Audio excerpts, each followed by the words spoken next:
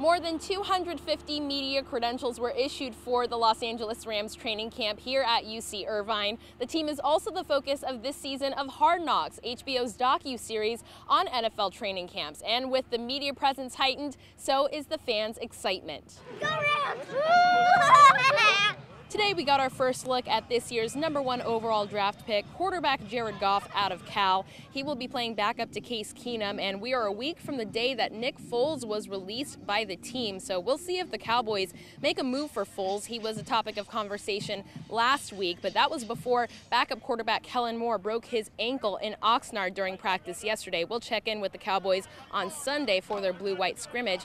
But there were fans of all ages out here today sporting jerseys of the new and old old era of the Rams. A lot of Todd Gurley number 30 jerseys. It was his birthday today. And we ran into one fan known as Rockstar Rams who says he's dedicated to the team regardless of where they call home.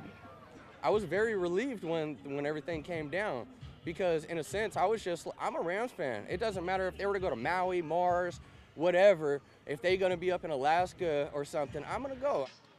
The team and fans are gearing up for Saturday, which is the inaugural Family Day at the Los Angeles Coliseum starting at 3 p.m. Admission is free, but you can secure your tickets online at Ticketmaster.com. Reporting from Los Angeles Rams training camp at UC Irvine, I'm Lina Washington, 17 Sports.